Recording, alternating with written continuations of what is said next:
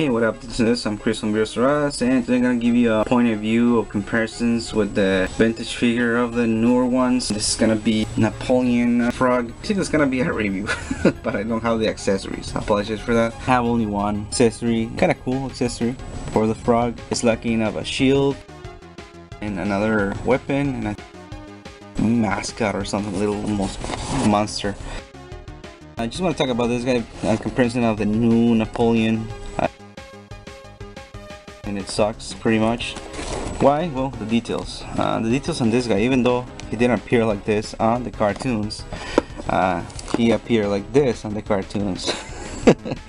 Still, it's a pretty good figure. I mean, look at all those details that he has. This a gland here, like something going on there on the side of the ear, the eyes, the teeth. It's like a bullfrog or something. I don't know. It looks more like a chameleon.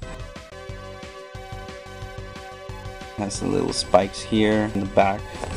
It's pretty good. The shirt is pretty nice, painted. A watch here. I don't know what the hell. Ah, it's a little skull. Here he has just a wristband, peace and love uh, symbol.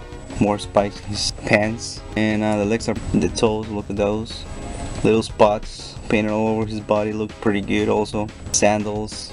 Just one amazing figure to have. I mean, it's pretty good. I hope I can find the rest of the accessories one day so I can have it complete.